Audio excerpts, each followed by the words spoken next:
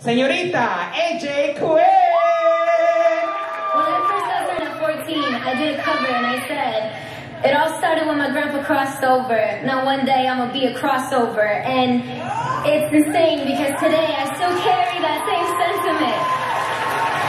Except I don't have to do the crossover because we are the crossover. And when it comes to me and the decisions that I make in my career, I proudly wave both flags, Mexican and American, and like many, many children and grandchildren of immigrants, no matter where they're from, we have learned from the ones before us what sacrifice and hard work looks like.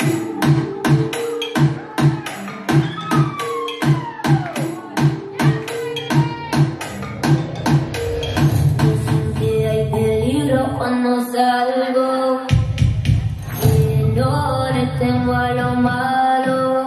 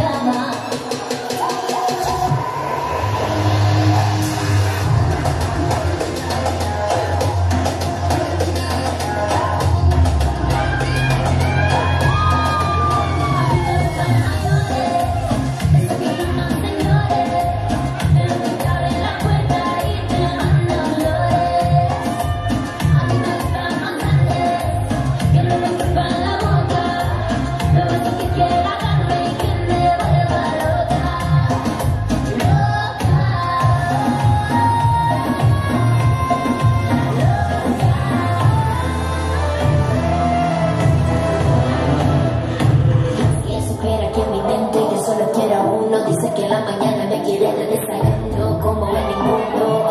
Dura más que uno de 21.